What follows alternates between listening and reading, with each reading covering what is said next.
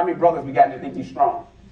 We got some strong sisters too, amen? Amen. We, we think we're strong, but I'm here to tell you, uh, uh, you can't lift the doorpost of a city, the gate, the, the entryway, just pull it up out the foundation, put it on your shoulders. You don't have, Samson had supernatural strength. And truth be told, Samson should have stayed home. And, and that's the first point I want to talk about, Samson's sin. That's point number one, Samson's sin, Samson's sin. Samson should have stayed home. Right. See, that, that's how Samson's sin started because he didn't stay home. He wasn't in the environment. He wasn't in the place that he was supposed to be in. Uh, he should have kept himself in the correct environment. Samson, as a man, had sexual desire. There's nothing wrong with that. God has a, a place at home for that. It's called marriage. Somebody say amen. Amen.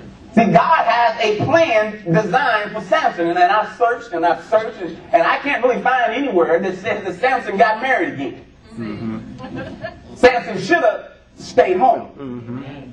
Uh, if he was at home, he never would have saw uh, uh, this woman, this, this prostitute in Gaza. If he'd have stayed home later on, we're to get, he never would have met Delilah. If he'd have stayed home like his mom and dad told him years ago, is there never a woman of our own if he had if he had gotten married and stayed home, yeah, yeah, he, he wouldn't have been in this situation. Samson's sin was, uh, first off, he should have stayed home.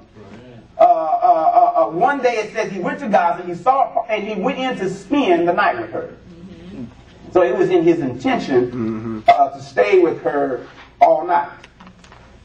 Uh, that, that, that, that's what he was. That was his intention was to stay all night.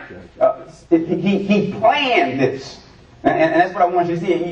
Anybody, we always talk about, well, I failed. We failed in the sin. It, it snuck up on me. Sometimes we plan it. Mm-hmm. Sure. This is a judge. He's been judged for 20 years. What the Bible says? It, it says he went into what? That was his intention. His intention was to go stay all night. Mm-hmm. Samson sin. Samson, see, first off, he should have stayed home. And see, meltdowns happen is when, okay, I, I, I know I'm not supposed to do, it, but he, he planned this. He's gonna, he's gonna, he's gonna plan this. And Here he is. Here he's not at home. He's in Jamaica. He's in the Bahamas. He's in Puerto Vallarta. He, he's in, you know, someplace where folk can't see if this don't apply, then you okay, amen. Samson was out of town. He was in Vegas. What happens in Vegas? No, it don't. you can get into some stuff in Vegas and bring it home with you. You get back from Vegas, you can't pay the note. They come get your car. Because of what happened in? Yeah, it don't stay there. No, no, no. You can, you can catch some stuff in Vegas, bring it back with you. It don't stay there. Mm. See, Samson, see, see, the first part was Samson's meltdown. It always starts with sin.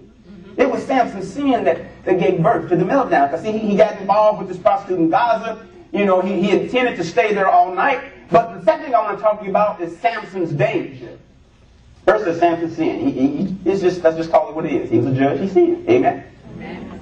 But with sin, there always comes danger. Sin always exposes us to an element of danger. It's the game of chance. I mean, you know, we, well, we'll take a chance. I'll take a chance here. I mean, this is not, this is a little sin. I'll do this one and I'll be okay. I'll do that. You, you ever play that game of chance? Don't say amen. It, but see, it always exposes us to an element of danger. Mm-hmm. Once again, he was behind enemy lines here in Gaza. The authorities were informed, and you know what? He didn't get to stay all night. Mm-hmm. Uh, uh, uh, uh verse 2 says the people of Gaza were told, Samson is here uh, Samson had planned to stay all night, but his sleep was disturbed. Mm.